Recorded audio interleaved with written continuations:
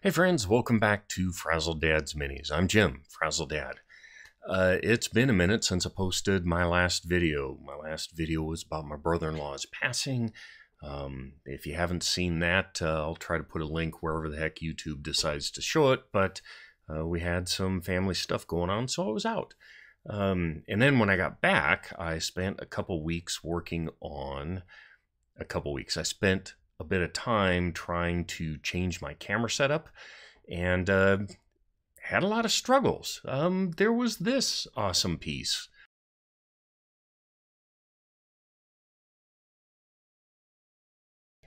And then I had a lot of things like this. So um, it's been an interesting uh, bit of learning about changing my camera setup. There's been a lot of profanity involved, and frankly, just I had to throw away a whole lot of uh, footage because it just didn't work. But I learned a bit, and I'm uh, getting closer to getting the kind of production stuff that I want. Um, anyway, all that aside, uh, this video is on another Ravaged Star piece, and it's Lord Tyrach. Tyrich? Tyrich? Don't know. This dude. Um, this is one of the main characters, and unlike my work with speed paint, I'm taking acrylic approach, just regular kind of display um, level uh, approaches with this. I'm also diving into trying non-metallic metal with all of the crazy detail, and I know how big a struggle this is, but it was a really good way for me to get some practice with um, brush control and start to work again on smoothing out transitions and glazing. I'm also working some non-metallic metal on the blade and a couple other things. Uh, so without further ado, um, we're going to jump into this. I've already got the figure primed and I've got a bunch of blocking in for the blue armor, for the cloak. Um, I had actually gone back and covered up some of the non-metallic metal gold trim because one night at 3 a.m. when I had an insomnia, I realized that I'd painted the entire figure from head to toe the same shade of blue. So I had no light transition going on there. Uh, so I actually went out to the garage with my airbrush and zapped on um, some underspray with uh, a mix of the blue and dark gray to give some shadow and some depth underneath. And then I added in some white and did a bit of like zenithal approach from the top. Uh, so now I've got three good zones of highlight, mid-tone, and then darker stuff down underneath. Um, but yeah, uh, here we go. Gonna jump into it. So here I'm just starting my basic tear list of things I need to finish up on my figure. I find that kind of when I get about halfway through something, it's very helpful for me to start writing down the things that I need to focus on and keep working on. Um, so, uh, again, this is my paint journal. I just find it very helpful to keep notes on where I'm at, how things are going, and importantly, what I need to do so I don't miss something later on.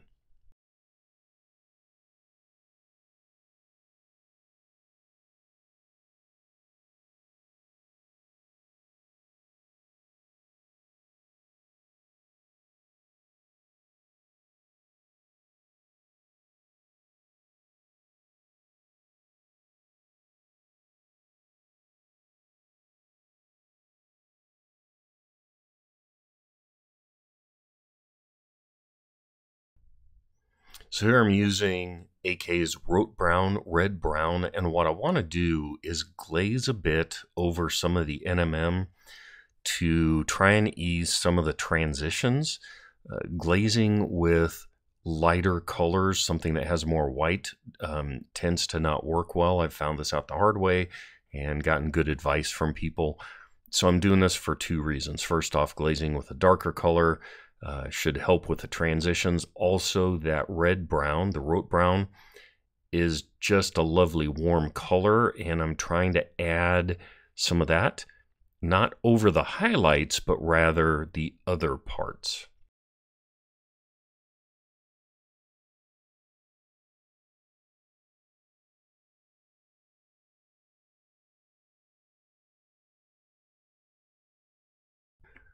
Here I'm using Pro Acryls Orange to try and get a better coverage on uh, the parts of the figure where orange was.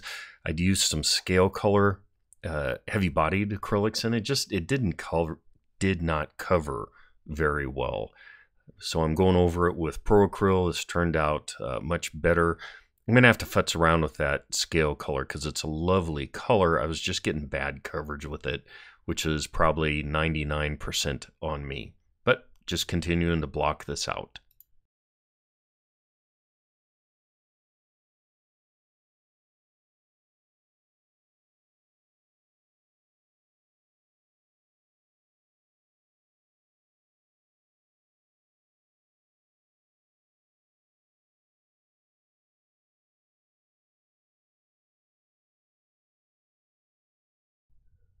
All right, so now uh, wasn't sure what I wanted to do with these gem-like pieces. I, I, blocked one out. I like the approach, so going in with Pro Acryl Bold Titanium White as a base for orange uh, on the gems so that I can keep plugging on with it.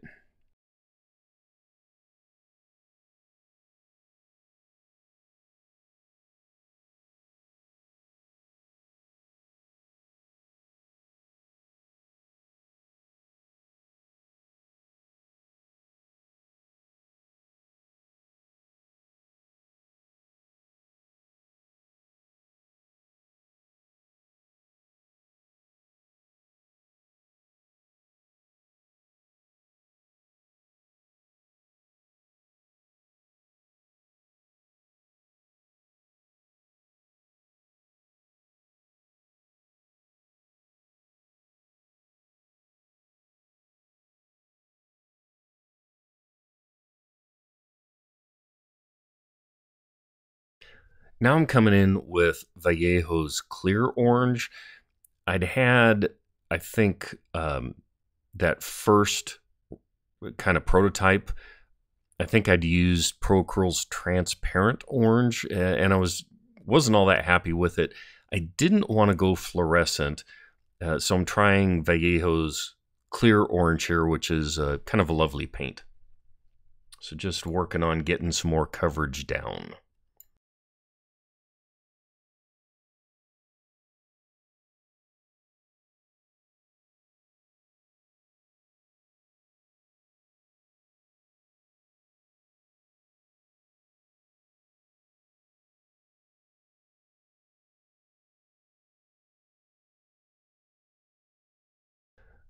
Now I'm coming in.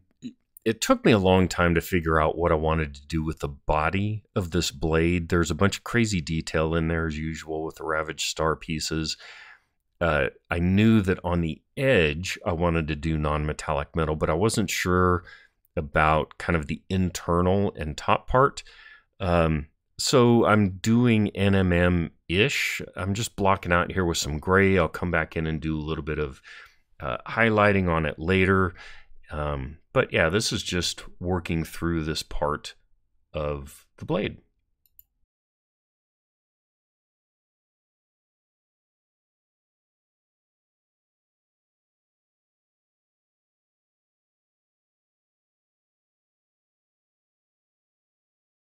The back side of the blade, I'm working with a much darker uh, gray. I'm not going to be doing anywhere near the highlighting that I was on the front because it's the backside and it's in uh, it's in shadow quite a bit.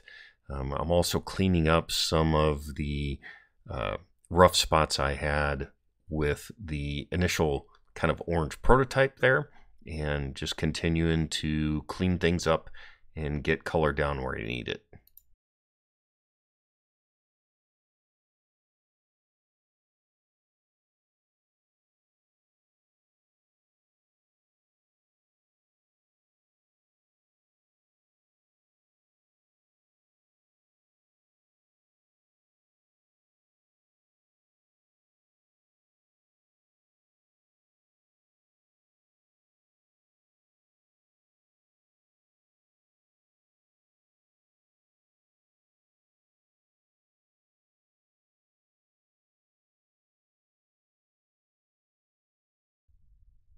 And then hitting the teeth of the saw um, or the blade both on the front and the back with white. Uh, on the back, I've got it toned down a bit because again, it's in shadow. And on the front, I'm trying to use a bit of the uh, plain bold white. Uh, and I'll end up covering that up with some uh, blood for the blood god.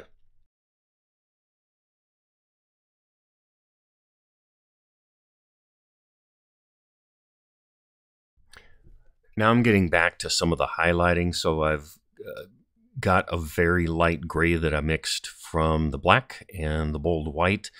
And I'm just picking out some of the many details, uh, lines and edgings, edgings, whatever, edges on the actual sword blade to give it just some depth and yeah, you know, lots of edge highlighting type stuff. Again, I'm not trying to work hard on making this non-metallic metal, just giving it uh, some depth and some interest.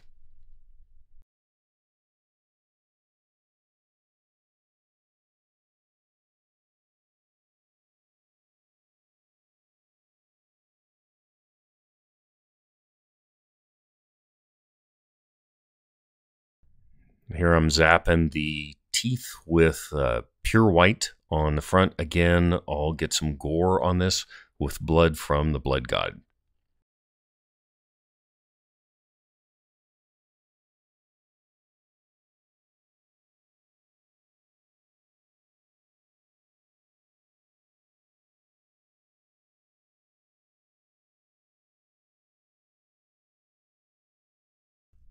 Now I'm doing a light bit of glazing, trying to smooth out some of the transitions.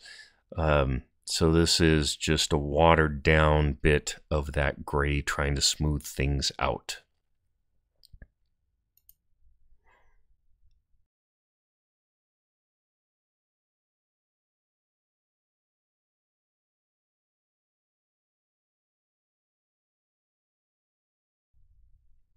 back to work on the gems and I'm using some transparent yellow to give a little color differentiation there. So I've got the orange, then a smaller area highlight with the yellow, and then I'll finally dab on some specular highlights with uh, white, but that'll be after a bit.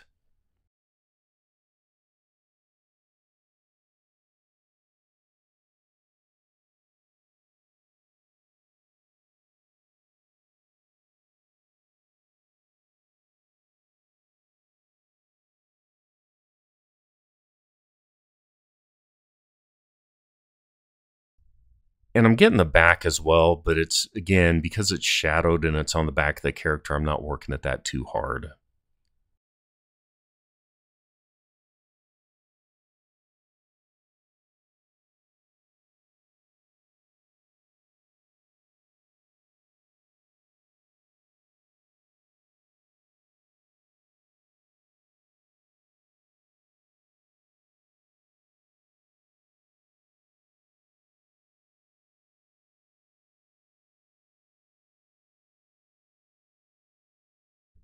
Now I'm going to add in a bit of blue glazing or not really wash, trying to glaze a little bit of light blue onto the silver part of the blade.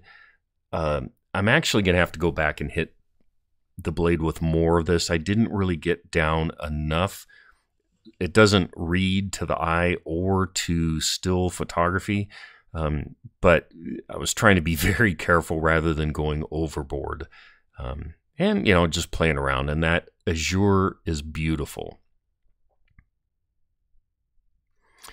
So now more washing trying to or not washing glazing trying to smooth out my transitions of the uh, gray to the lighter on the NMM this is a part where I really struggle and this is like where this right here is exactly where I need to get in many many more reps so it's just putting in the work and struggling a little bit um, and staying after it and looking a lot at how things are and deciding where I need to dink around next.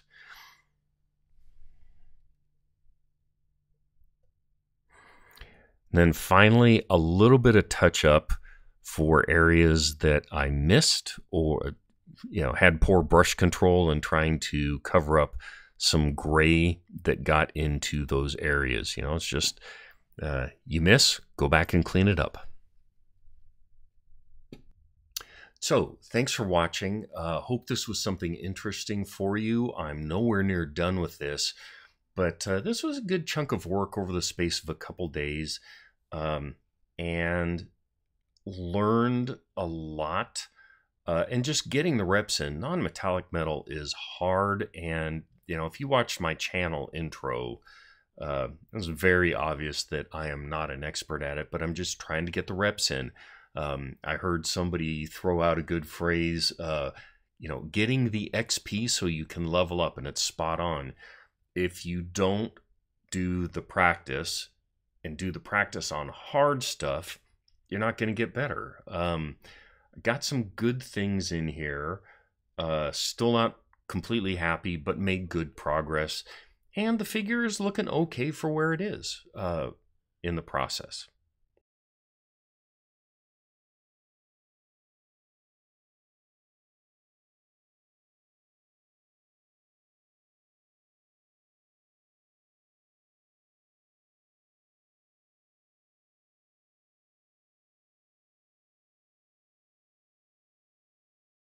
So if you like this, please do all the things. I'd appreciate it if you'd subscribe, give me a thumbs up if you like the content. Let me know down in the comments uh, what you found interesting or what you found bogus. Um, yeah, so until next time, be kind, learn stuff, experiment. Remember, at the end of the day, it's just paint and plastic. Until next time, bye bye.